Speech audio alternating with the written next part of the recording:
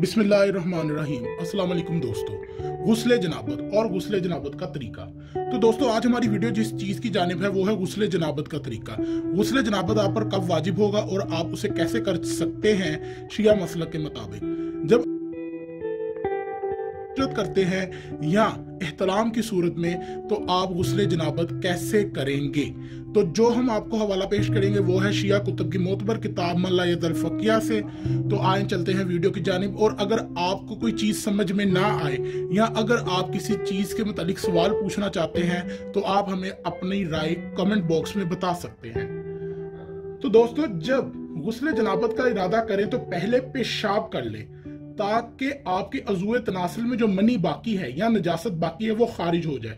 پھر اپنے ہاتھ پانی کے برتن میں ڈالنے سے پہلے تین بار دھو لیں۔ خواہ اس میں کوئی نجاست یا گندگی نہ ہو۔ یعنی کہ جس برتن میں آپ پانی اکٹھا کیے ہوئے ہیں۔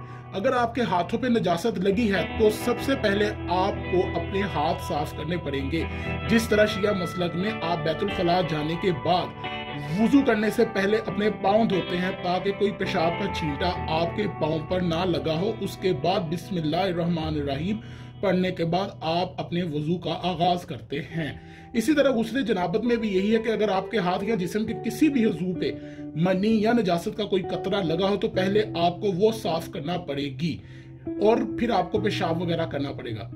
اس کے بعد برتن کے اندر جو آپ نے پانی لیا ہوا ہے، پھر آپ اس کا استعمال کر سکتے ہیں۔ اگر آپ کے جسم پر منی لگی ہے تو دھو لیں، پھر عضو تناسل کو بھی دھوئیں اور پھر آپ اسے پاک کر لیں۔ پھر اپنے سر پر تین چلو پانی ڈالیں اور اپنی انگلیوں سے اپنے سر کے بالوں کو الٹے اور پلٹے تاکہ بالوں کی جڑوں تک بھی پانی پہنچ جائے۔ اور اب آپ پانی کا برتن اپنے ہاتھوں سے اٹھا لیں اور اپنے بدن پر پانی دو یا تین مرتبہ بھی آپ پھینک سکتے ہیں تاکہ آپ کا جسم مکمل طور پر پانی وہاں تک پہنچ جائے۔ اپنے تمام جسم پر اپنا ہاتھ پھیریں اور کانوں میں انگلیاں ڈالیں تاکہ وہاں تک بھی پانی پہنچ جائے۔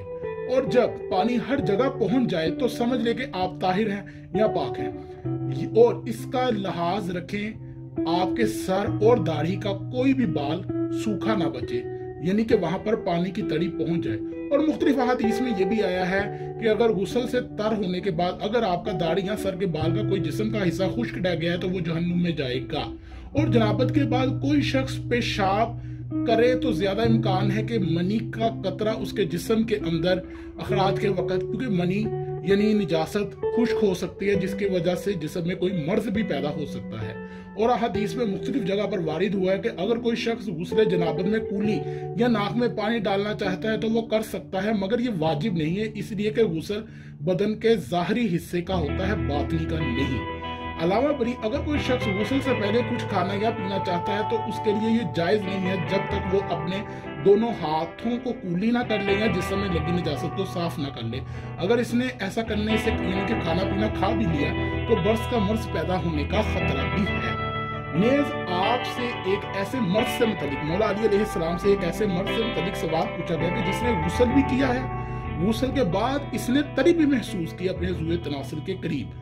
حالانکہ وہ غسل سے پہلے بھی پیشاب کر چکا ہے، تو آپ علیہ السلام نے فرمایا، اس کو وضو کرنا چاہیے۔ اور اگر اس نے غسل سے پہلے پیشاب نہیں کیا تھا یعنی کہ جب وہ غسل کرنے گیا تھا اور اس نے اس پیشاب نہیں کیا تھا اور دوبارہ اس کو نجاست کے وہ قطرے محسوس ہو رہے ہیں، تو اس کے اوپر دوبارہ غسل واجب ہو گیا ہے۔